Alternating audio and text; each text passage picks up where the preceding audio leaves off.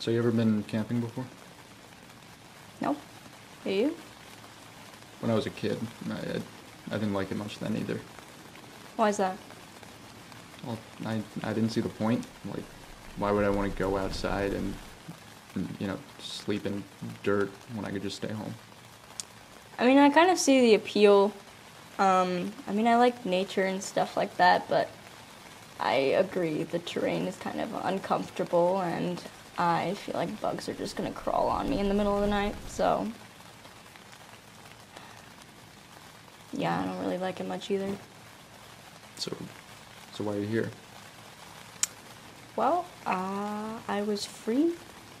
I was free and I had nothing better to do. I mean, it's better than watching Netflix and eating junk food on my couch.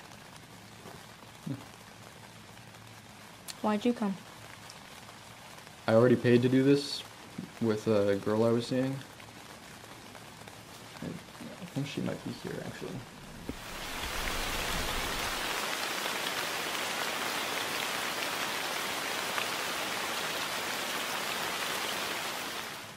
With another guy?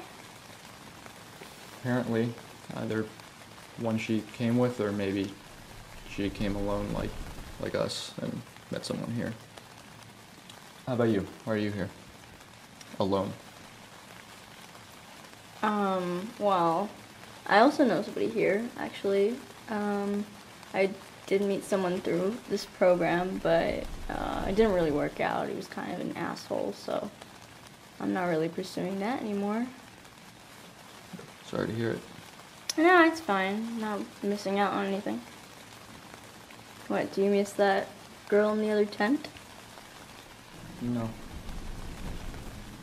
Are you lying to me? Doesn't matter. Guess not. I don't know.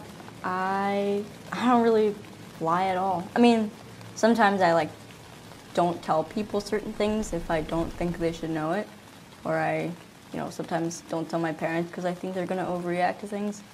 It's But- called a lie of omission. yeah, I know. Maybe I do lie more than I think I lie, but I don't think I've. I very rarely, if ever, actually said something that was on, not true, like on purpose. Okay, I'll I'll tell you a story. You tell me if I'm lying. All right. Okay, when I was like three or four, when I was going down the slide at a park, I was I was in my mom's lap and we were going down the slide, and somehow my leg got caught on the slide, but because my mom's weight was going down the slide, basically my leg ended up behind my head. Behind your head Yeah, I like dislocated my hip. when you were four. Yeah.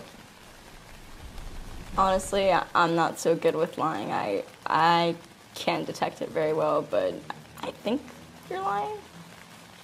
No, no, that happened. It really happened? Yeah, it's You- true. Really? You dislocated your leg when you were four? Yeah, I was like. in- Your hip, my bad. Yeah, I, Like I, like a 60 year old woman. yeah, I was in like baby crutches for weeks. Baby crutches. Yeah. A four year old can walk with. I I'm sorry. I would like laugh if I saw a kid with. I'm so sorry. I would laugh if I saw a kid with crutches. Yeah, because it's down. funny. It is. It is kind of funny. okay, I'm glad you have a sense of humor because I would. I have a horrible sense of humor. Um, I laugh at. What do you laugh at? What's your sense of humor like? I don't know. Funny's funny. How do you mean? Like there isn't one kind of joke that makes me laugh more than the rest. There are good jokes of all kinds. That's interesting. I mean, um. Sorry, that's interesting to me because earlier you said, um. Does it really matter if you're lying? And, uh. I guess that kind of just makes me think does it really matter if something's funny for us to enjoy it? Like, something doesn't need to be objectively funny for someone to find it funny. So anything could technically be funny if you think about it. Yeah. Yeah, I guess that's kind of what I was saying. like for me, you know, um, my sense of humor. It's not really funny things, but it's something I find funny. Like uh, if words are really terribly misspelled, for some reason that just sends me into a fit of laughter. You got anything like that for you? Not, not that I can think of. Are you gonna think of? Well, what's something that like you assign meaning to that other people don't? I don't know. Um, I had this ex girlfriend who I guess you could say I'm not really over at all.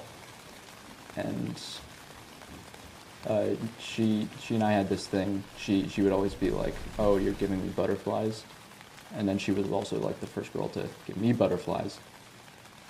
And then all of this, there was just this, there's this misunderstanding where she was saying you should call me like nicknames more, and I was like nicknames, I don't know. And and then all of a sudden I was like, "Oh, butterfly, there you go." And she meant, "Oh, I meant things like baby, but that that's great." And it gave me butterflies, you know. Uh, but you know, now whenever I see a butterfly or something, it, I guess it reminds me of her.